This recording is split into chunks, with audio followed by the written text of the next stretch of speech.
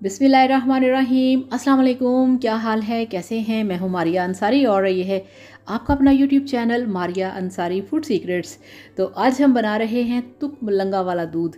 मेरा फेवरेट हमारी फैमिली का फेवरेट हमें बहुत पसंद है ये वाला ड्रिंक इसको पीने का जो मज़ा है, जब आप इसे बना के पियेंगे तो आपको तब पता चलेगा। तो चलिए बिस्मिल्लाह करते हैं, शुरू करते हैं और बनाते हैं ये वाला बहुत ही मज़े का तुक मलंगा वाला मिल्क तो चलिए बिस्मिल्लाह करते हैं, शुरू करते हैं और सबसे पहले हमने लिया है एक खाली बॉल, उसमें हम डालेंगे मिल्क उबला हुआ मलाई वाला, ये देखिए बिस्मिल्लाहिर्रहमानिर्रहीम।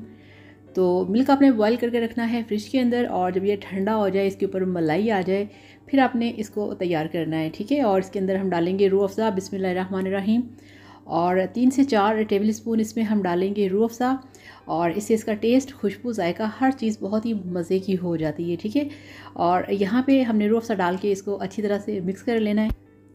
और वीडियो देखने के साथ साथ आप सबसे रिक्वेस्ट है काइंडली चैनल को सब्सक्राइब कर लें और चैनल को लाजमी सब्सक्राइब किया करें। आप चैनल को सब्सक्राइब करना भूल जाते हैं। और ये देखिए, अब इसमें हम डालेंगे तुकमलंगा, ठीक है?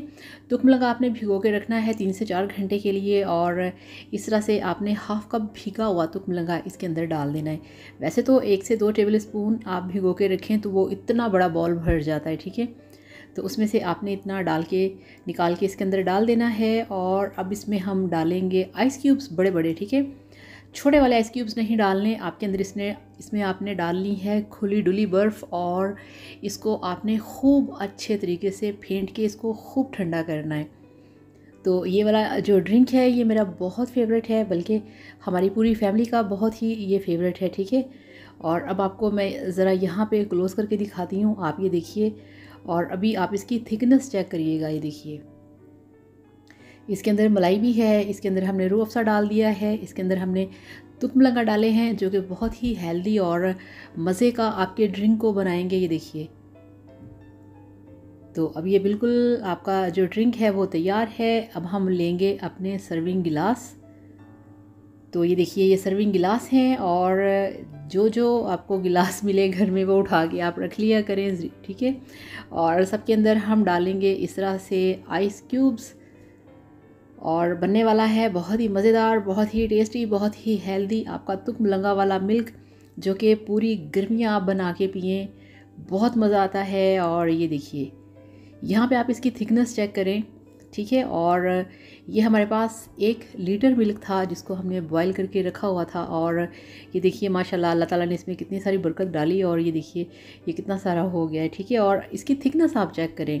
इसके अंदर हमने कुछ भी ऐसा ऐड नहीं किया जो कि इसको थिक बनाए जस्ट इसको हमने बॉयल किया है अच्छी तरह से और तुक लगा डालने से जो मिल्क होता है, ये थिक हो जाता है, ठीक है ना? ये देखिए।